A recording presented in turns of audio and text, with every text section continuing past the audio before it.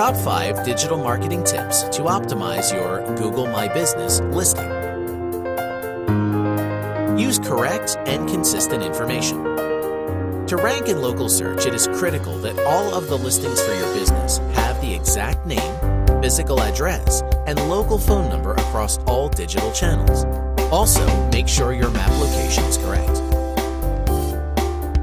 Help searchers choose you. Add your hours of operation, payment types, and other valuable information to help searchers choose your business from the list of results. Adding pictures to your profile is also a big conversion booster. Choose the right categories. This will help your business show up for the right searchers. Choose multiple ones and get specific if they describe your business well.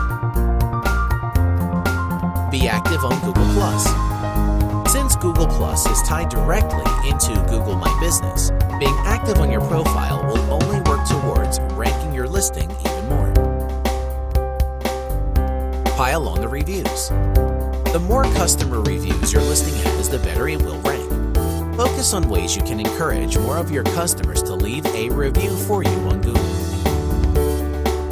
Ready to take your digital marketing to the next level?